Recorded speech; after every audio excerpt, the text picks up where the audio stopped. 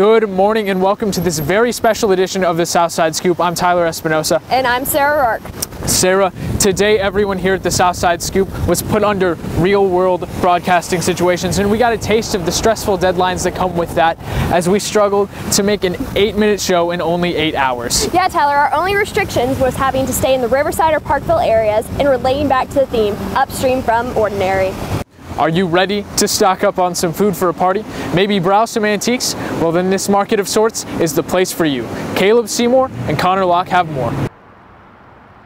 As you pull into the parking lot, it's hard to miss this treasure where X marks the spot. And here, you're bound to find something worthwhile because this store has quite the history. It started in 1948 as a two-car garage with gas pumps, and they sold cigarettes and milk and bread. But 67 years later, the store's expanded exponentially.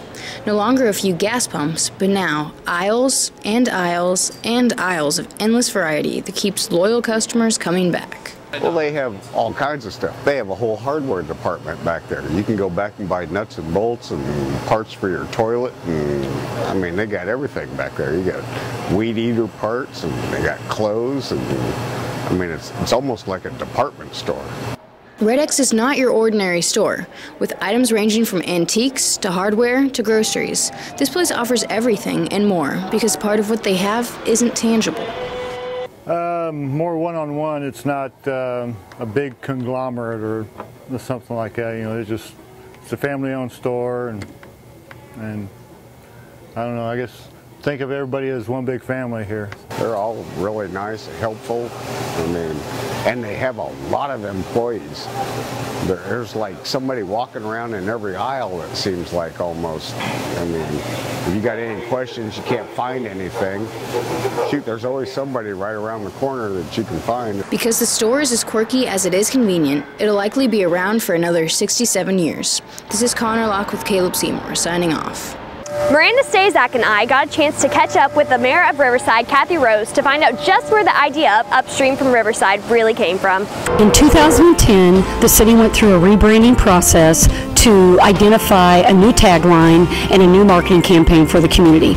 Upstream from Ordinary was one of three brands that we kind of knocked around until it, it, it flowed to the top because of uh, all of the amenities that we have around our community. We have the Missouri River, we have the Line Creek that runs through, so we're kind of surrounded by water. So having something that was upstream from Ordinary was really important to us, as well as it representing everything that we have accomplished in this community community, especially in the last 20 years. And we have uh, developed so many beautiful buildings and so many beautiful trails and uh, so many different programs that benefit everybody's quality of life that it really was a fitting tagline, Upstream from Ordinary.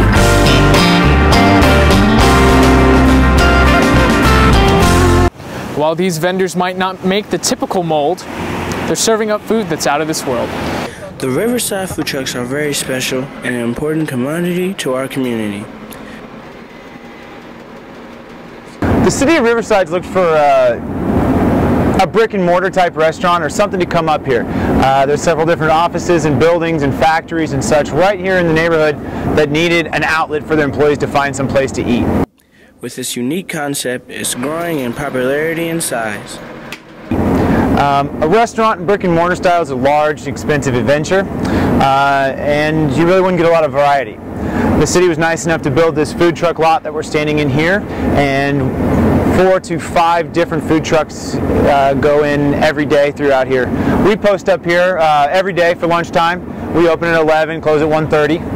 Uh, so really it's a combination of a, of a project between the Riverside and what these businesses needed. It's not just a business, but a family environment. Starting off on the Southside Scoop, I'm Jordan Bell with Kyle Helms.